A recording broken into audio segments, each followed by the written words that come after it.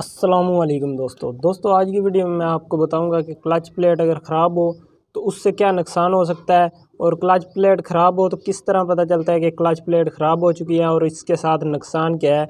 आप clutch plate change नहीं करवाते और बाइक को चलाते हैं, इससे नुकसान क्या होगा? वो भी आप दोस्तों को बताता हूँ। और ये भी बताना है कि क्लच प्लेट ख़राब हो तो किस तरह से पता चलेगा कि क्लच प्लेट ख़राब हो चुकी है, ठीक है? तो ये कोई भी बाइक हो सी डी सेवेंटी हो C G one two five हो, कोई भी बाइक हो, ठीक है? तो दोस्तों, मेरे चैनल को सब्सक्राइब करें, बेल आइकन को प्रेस करें, इस वीडियो को लाइक करें, दोस्तों के साथ शेयर करें। तो चलिए दोस्तों, वीडियो स्टार्ट करते हैं। तो दोस्तों, जब भी बाइक की क्लच प्लेट ख़राब हो जाती है तो उसकी कुछ निशानियाँ होती है, जिससे आप अंदाज़ा लगा सकते हैं कि इसकी क्लच प्लेट जो है वो ख़राब हो चुकी है।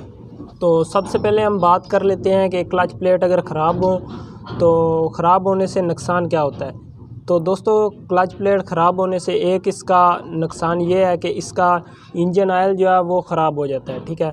दूसरे नंबर पे जब क्लच प्लेट ख़राब होती है तो आयल भी ख़राब होता है। जब आयल ख़राब होता है तो आयल क्लच प्लेट का जो कचरा होता है, जो कचरा कार्बन सा बनता है तो वो जाता है पिस्टन की तरफ़ तो आपके बाइक का पिस्टन भी सीज़ हो जाता है। उसके बाद आयल पंप भी बंद होने के चांस होते हैं। इसके अलावा, इसके कौन राड के अंदर कचरा जाएगा तो आयल पंप की सप्लाई कौन राड तक नहीं पहुंचेगी तो कौन राड भी इसका ख़त्म हो जाएगा। और अगर हेड तक आयल आयल की सप्लाई नहीं पहुंचेगी तो इसकी टाइमिंग चैन और हेड में से आवाज़ें आना शुरू हो जाएँगी, ठीक है? तो क्लच प्लेट अगर ख़राब है तो आपको उन्हें जल्दी चेंज करवाना चाहिए। आपको आयल चेक करना चाहिए कि आयल बहुत ज़्यादा ब्लैक तो नहीं हो रहा आयल के अंदर कचरा तो नहीं आ रहा। अगर आयल के अंदर कचरा आ रहा है तो आपको क्लच प्लेट जो है वो जल्दी चेंज करवा देनी चाहिए। तो अब बात करते हैं कि क्लच प्लेट अगर ख़राब हो चुके हैं तो किस तरह से पता चलता है कि क्लच प्लेट आपकी ख़राब है? तो एक तो ये होता है कि क्लच प्लेट जब ख़राब होती है तो बाइक स्पीड कम मारता है और इंजन का साउंड जो है वो ज़्यादा होता है। जब आप चालीस से पचास की स्पीड पे बाइक को चला रहे होते हैं तो इंजन का साउंड बहुत ज़्यादा होता है, लेकिन बाइक जो है वो उतना नहीं भाग रहा होता, ठीक है, जितना इंजन का साउंड होता है। तो उसकी एक ये भी वजह हो सकती है कि अगर ये क्लच जो है, यहाँ से आपने बहुत ज़्यादा टाइट कर दिया है, इतनी क्लच के अंदर हल्की सी प्ले होनी चाहिए, क्लच वर्म के अंदर तो अगर इधर से इतनी प्ले नहीं है, हल्की सी प्ले नहीं है तो आपने इसकी एडजस्टमेंट करनी है, ठीक है?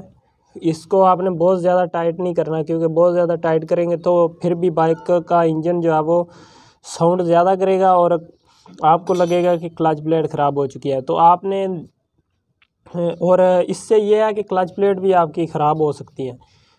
तो इसके बाद आयल आपने चेक करना है। आयल के अंदर कचरा वगैरह यानी बहुत ज़्यादा आयल ब्लैक हो जाता है, आपने दो तीन दिन में डाला है तो उसके बाद आयल ब्लैक हो गया, इतना ज़्यादा उसके अंदर कचरा है तो फिर भी इसकी क्लच प्लेट जो है वो ख़राब हो सकती है, ठीक है?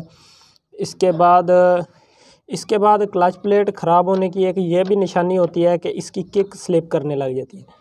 तो ये सेवेंटी बाइक में होता है और वन टू फाइव बाइक में ये होता है कि उसकी किक जो है वो हार्ड हो जाती है। इस बाइक की भी किक हार्ड हो जाती है, ठीक है? जब क्लच प्लेट ख़राब होती है तो किक हार्ड हो जाती है और स्लिप करने लग जाती है।